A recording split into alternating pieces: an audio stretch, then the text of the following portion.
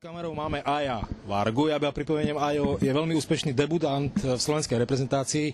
Získal si striebro, ako si to prežíval, Ajo? Tak v pohode, som rád.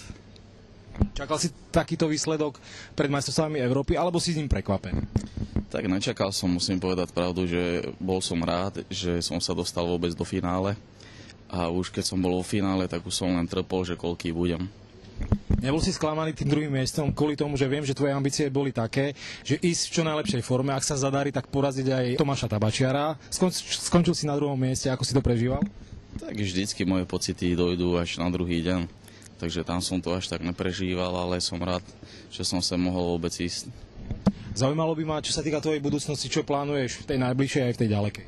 Fú, toto sú strašné otázky. Teraz by som sa potreboval najprv dobre nájsť, dať masáž, vyspať až po... Počkaj, počkaj, počkaj, počkaj. Včera bol banket, tak mi nehovorí, že si nič nejedol. Tak jedol som, ale len trošku. Vieš, koľko si pribral teraz na hmotnosti, lebo vidím, že si trošičku väčší ako včera. Ani netuším, navážil som sa. Čo si zjedol hneď okamžite potom, ako si zliezol z pódia? Fúha, čo som zjedol? Čo si vypil? Mm, trošku vody. Lebo som natieral ešte Maja Čambála, Rastia Solára, takže som tam strávil ešte dosť veľa času. Takže od nejakej 11. asi som začal jesť prvé jedlo a to bolo veľa ríže a mesa. Boli aj nejaké sladkosti? Neboli sladkosti, Prečo neboli? lebo neboli. Lebo neboli na bankete. Uh-huh.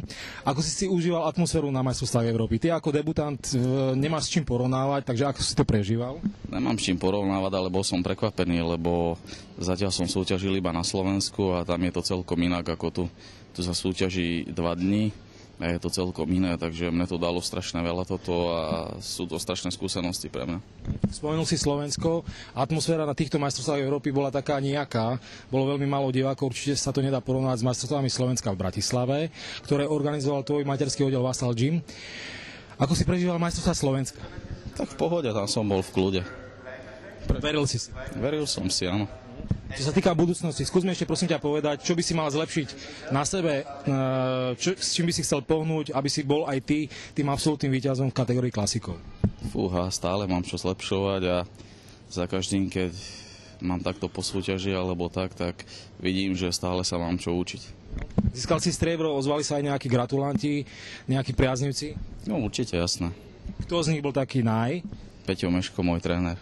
Čiže Peťo sa tešil z toho druhého miesta. Peťo sa veľmi tešil. Dobre, takže ja končím náš rozhovor tým, že pozdravujeme Peťa, ďakujem pekne za rozhovor, gratulujem k tomu striebru, myslím si, že striebro pri debute je výborný výsledok a verím, že časom k tomu pribudne aj zlato. Prajem všetko dobré. Super, ďakujem aj ja.